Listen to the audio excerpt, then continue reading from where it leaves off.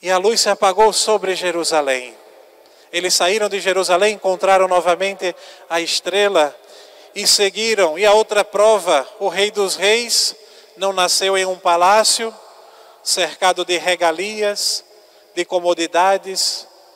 O Rei dos Reis nasceu numa caverna, numa gruta, em meio aos animais, em uma noite fria. Ali estava a Sagrada Família de Nazaré. A fé dos magos mais uma vez foi provada, mas eles reconheceram que aquele menino era o Salvador. E disse o Evangelho que eles se prostraram e adoraram a Nosso Senhor que estava nos braços de Maria Santíssima.